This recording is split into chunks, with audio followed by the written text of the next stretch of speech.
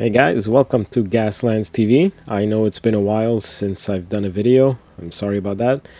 But uh, today we're going to be doing some stuff with some household items. So um, got some pumps here from uh, soap dispensers, which I'm probably just going to use the uh, the little plastic uh, tubes here to do something.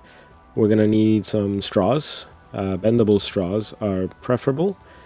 Uh, some Q-tips and some um, egg cartons and uh, plastic or cardboard or both if you have. They're both really useful. And uh, some mesh from some uh, fruits or lemons or uh, tangerines and stuff that you buy at the uh, supermarket. So some of these fruits are wrapped up in these things. So let's go ahead and uh, cut a bit of that mesh and pass a straw here bended straw to do uh, one side of the fence. So we're going to be doing a few like barriers and stuff like that that we could use on on the terrain for uh, Gaslands or or any miniature game. Now I find to put two straws together, it's really good to cut at a at an angle one of the straws, and it's easy to just slip it into the other one like this to make like a continuous pipe of some kind. Um, so we'll just put the mesh like that. It's probably better to make it even shorter or lower if you want. Oh iced coffee. Don't forget to hydrate even though that's probably not a good way to hydrate. Some water would probably be better. But uh, you know my wife brought me some cold coffee. I'm not gonna say no. So uh, let's go back to the egg carton here. Just cut the bottom part of it and uh, already that alone is a pretty cool uh, little piece of terrain there. Kind of looks like a, some kind of cinder block or something. So uh, we're gonna use that as the uh, as the feet so with the hobby knife I'm just gonna make a little hole here inside the egg carton bottom and uh, try to fit the straw in there. That's not bad. Gives it a nice little base. It's super easy, super quick. Little terrain here, so I'm gonna just do the other side. And uh, I mean, you don't even need to glue this. It fits in pretty well, but just to make sure, a bit of glue, just to make sure that it uh, stays in place. And now I'm gonna start on a second barrier. I'm gonna do maybe like three different barriers. So for this I'm going to use two popsicle sticks, glue those together like so. And I'm to break another two of them to just get a little piece of wood to put underneath so that it's gonna keep them stable together. It's gonna be like the, the feet of this uh, barrier here that we're gonna do. Again, this is all like household item stuff that you could probably find, so hopefully you do have some of this stuff flying around and this inspires you to do something. I'm just gonna put a little dot of glue here and use these pieces of wood here to make the base. And that's also going to keep the other two together, so it kind of reinforces the, uh, the bottom part of this barrier that we're going to make. And now for uh, for this one, I'm going to use the this mesh here. Going to make sure it's the same width as the uh, base. I'm just going to cut here. I've, I've always been looking at these meshes and I'm like, I'm sure there's something we could do with this. And uh, so that's why I decided to try it out and see how we could use this mesh for some barriers or fence or something like that. So I'm going to try to put this here somewhere. If you have Q-tips, we're going to use that as the uh, two different poles. If you don't, you could still use the straws. But uh, the Q-tips are going to be cool, and I'll show you why in a minute. So I'm going to make sure that they're both the same length here. I'm doing it by eye. And uh, I'm going to use that to go through the fence here, through the mesh. This is just because I don't want to use the glue, but if you want, you could wrap it around and use glue. But I mean, this holds it holds it pretty well. and now we're gonna have to find a way to glue that I'm gonna use the uh, Gorilla white glue I like this glue a lot because it like it expands and it bubbles up a bit and it really uh, keeps things together and it also looks like a, like a welding kind of thing once it dries now it's uh, see like that white glue there. It's really hard to uh, glue those q-tips. So what I'm gonna do is cut a straw here and make little holes. And uh, what's cool is that this straw even adds a little pipe at the bottom of this barrier so that's pretty cool. Sometimes just adding a little thing might add more than you expect. Let's just make a few holes in here a little bit bigger so that the q-tip fits in and that's gonna make it much easier to glue this to the uh, base the wooden base here because of the straw that's there, the pipe. And uh, that's one of the barriers done. Now we're gonna use the uh, top of the egg protector here from a uh, egg carton, plastic egg carton, and uh, show you how to use these um, covers here, these little rings here. Uh, try to get the ones that are like like this one, not not the other one. The other ones are not like poppable. I'll I'll explain as I'm doing this. Uh, it's hard to explain the poppable aspect of these things. So um, I'm gonna use the uh, just the tube of these things. If you don't have that, you could use a straw, or again a Q-tip, or any pipe-looking thing. Just gonna clean this one up here just a little bit so that it's straight instead of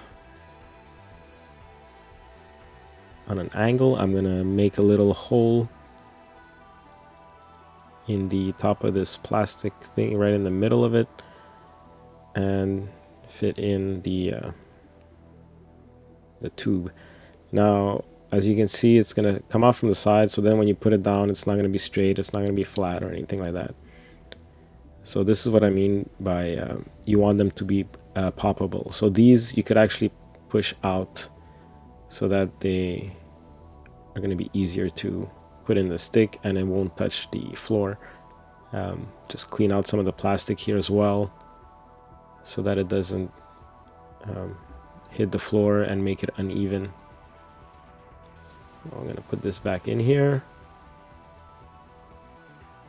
And see it's not it's not even right? It's not gonna stay straight.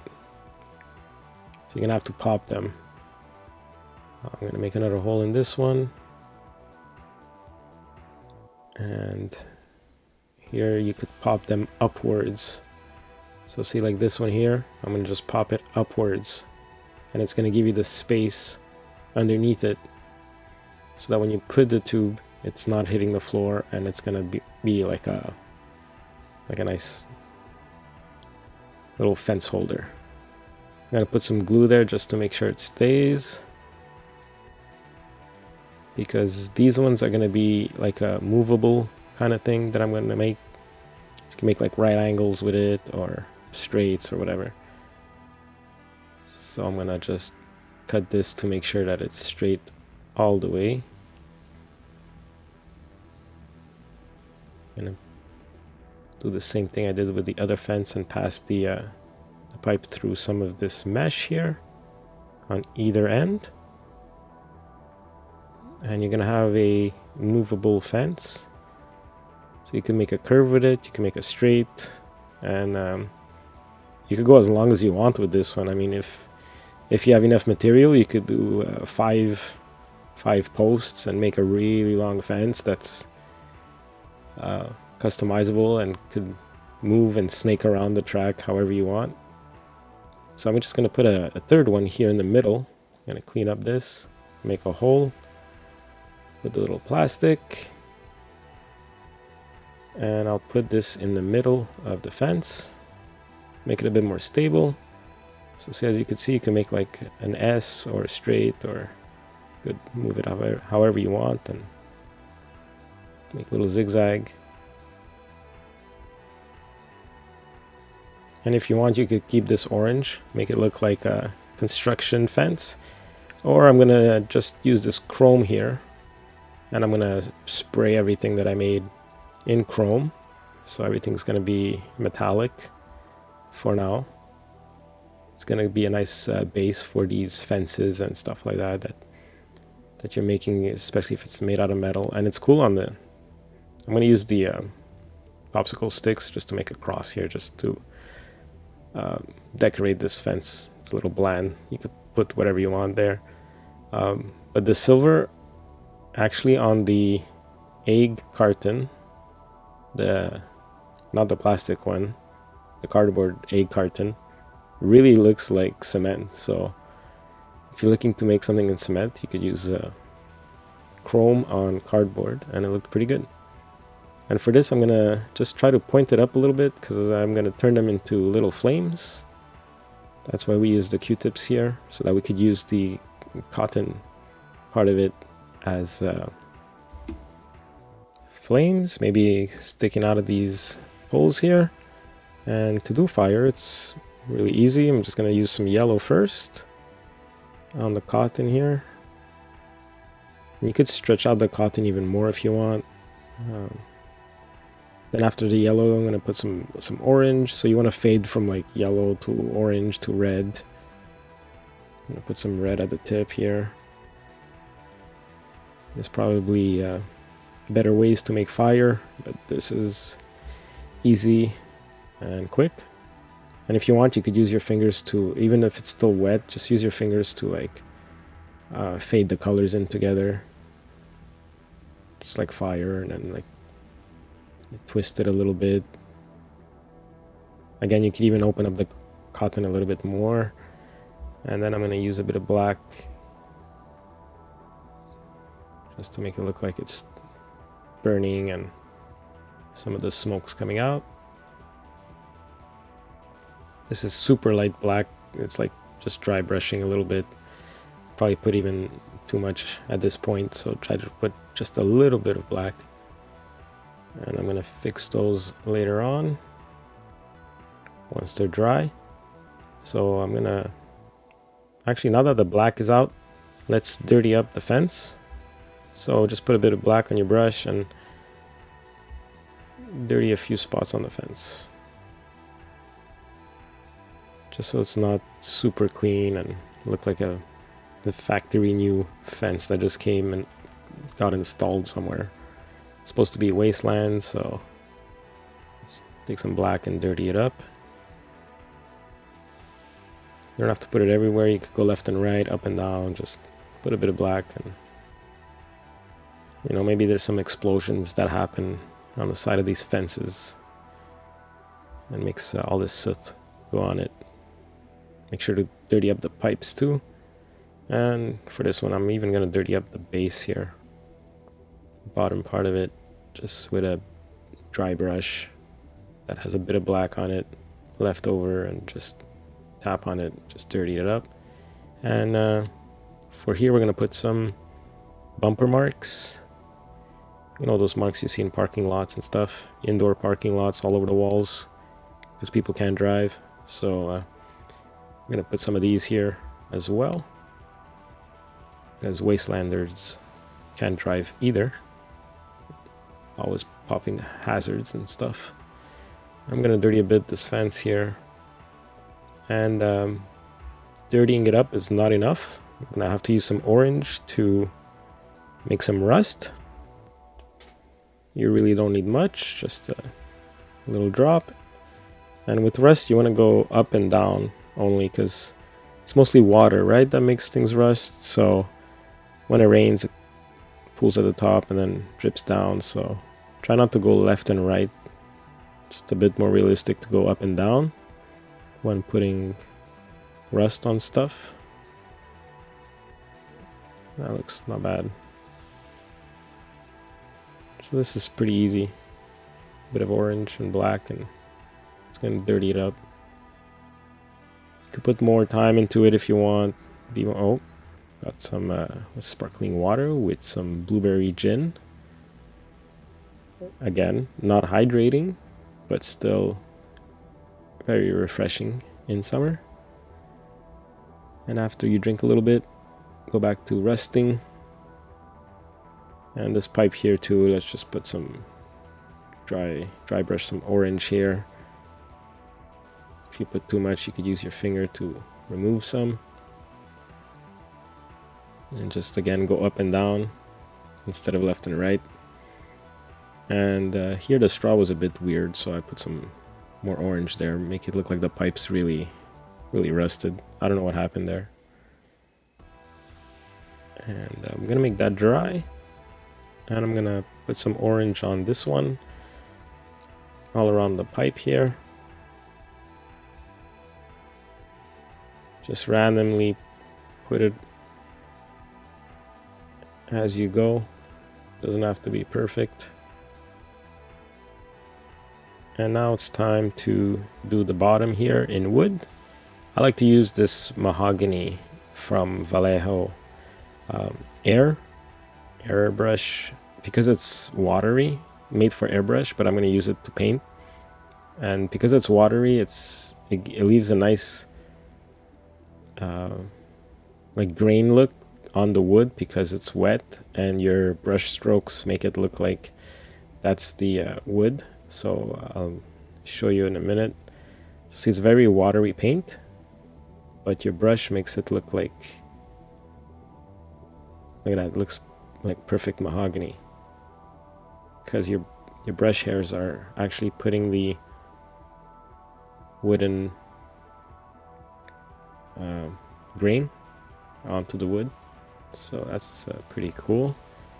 So if you're ever looking for an easy wood that's uh, that's the paint to go with and uh, make sure everything is completely covered here just to keep it a little bit more realistic if there's a bit of silver showing it's gonna look weird and off so uh, that's all right I'm just gonna let that dry maybe put a second coat later and I'm gonna do the cross here also in mahogany again you want to use your brush to do the grains on the wood at the same time. And uh, that looks pretty good too. And if you want, you could use, you could paint the cross a different color and write something on it or whatever. Uh, but now for the top of these pipes here, let's say fire was coming out of these also, but they're just not on. I'm going to use metallic purple and metallic blue to uh, ionize, ionize the tip here. So I'm gonna just put a layer of purple. This is good to do at the edge of guns as well, or exhaust pipes or whatever. And then use the blue uh, metallic just to do a little sliver of blue at the tip of the pipe. And that's gonna make it look like, you know, fire was coming out of there and it just burned the tip of these pipes. And I'm gonna just do the same thing here at the bottom of the fire. So that's going to look like the metal pipe is being burned there from the fire that's sticking out there. Again, this is quick and easy, unprofessional work that anybody could do. And, uh, oh yeah, so I bought these things, uh, five bucks for a pack of like natural moss. Uh, you could find these at like um, arts and crafts shops. In Canada, it's Michael's. I don't know what it is in the States or anywhere else in the world, but I bought these at Michael's. And uh, these are used for plants. So like if you have fake plants, instead of putting dirt um, in the pot, you put this. And I find that it's amazing as terrain as well. And it's also very cheap. So there's a good tip. And uh, if you like these tips, make sure to subscribe, like the video. It really helps me out, and hopefully these videos help you out. So I'm just going to take a little bit of these. Not to use much of this, but it's just to decorate basically the bottom of these uh, barriers that we did. So I'm to use Amazon basic school glue. Uh, these are really cheap. I think I got like three bottles for like five bucks or something. That's really, really cheap. And uh, it's useful if you're modeling. So I'm to just put a bunch here. And you could be uh, aggressive with this. You could put a lot because it dries up a lot and it evaporates a lot. So uh, you could be actually pretty generous with this glue. So I'm going to just put a bit here um, to make it actually a bit more than you should, just to make it fill as much as you can here. Wherever you uh, you plan to put the the moss to decorate. I'm gonna pull out a bit of the excessive Ireland green off this and uh, just put the burnt one. Since it's a wasteland, it's probably more uh, burnt and dead leaves and dead branches and stuff. So, and you just put one standing up, maybe like that. See if it stays. And uh, maybe, yeah, you could put a bit of the bright green one. Why not? That looks pretty cool. Gonna do the same thing here on the second one.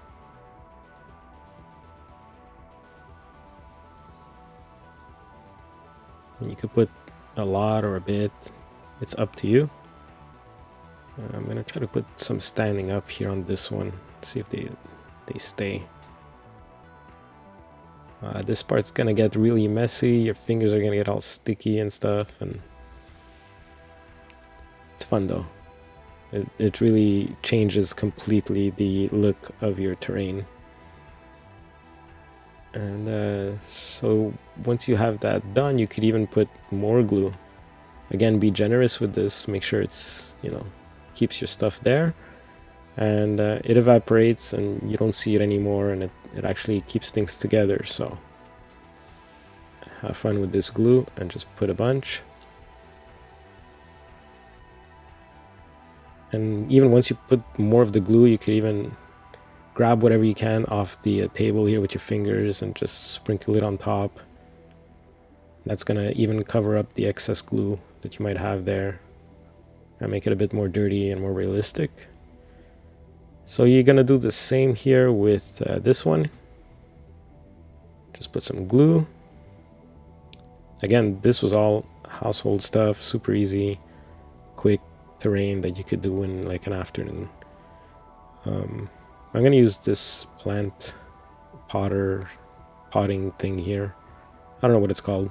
Fake fake potting, fake plant potter. I don't know. Harry Potter. I'll put some glue. Might have put a bit too much on that one. Uh, but again, I really want this stuff to stay there and not move, so I'm just gonna put glue and make a mess and just grab whatever's on the table here, whatever's excess, just throw it on there. Wherever you see glue, just throw it on. And maybe add a few Ireland green grass here. So it's not completely dead. You know, there's some hope of vegetation on this planet. Mars is a lie anyways. And there you have it. I'm gonna put a bit of glue actually on this one. Just a, a little bit of grass here is gonna make a huge difference. That's like two little sprigs. And it's gonna give it a little bit of a realistic looking thing here. Just a little bit. Maybe uh, put a drop of glue on it so it stays. And put a little sprig here on the other side. That looks pretty good. And there you have it. Quick, easy terrain with household stuff. Different barriers you can make. You can make a bunch of these super quickly and easily. Uh, you can make a long one of, of this and make it super movable, like, you know, a right angle or an S or a chicane or chicane, depending how you say it. And uh, yeah, I'd love to see these. Go on our Facebook group and show me if you did any of those. If you do play Gaslands and you're looking for uh, anything like dice or gates or templates or even uh, 3D printed stuff like engines, pipes, guns, especially rams, uh, you could order them on our Etsy page. They come in a cool Gaslands container, shipping container full of stuff. and uh, it supports the channel. You even have like flamethrowers. Uh, you help also the uh, the 3D artist who did these, and uh, you can go to our Facebook page, Gaslands TV, to share your thoughts and pictures on stuff that you've done. I hope you enjoyed the video, and if you did, please like and subscribe so that you don't miss anything else coming soon. I'll see you guys next time.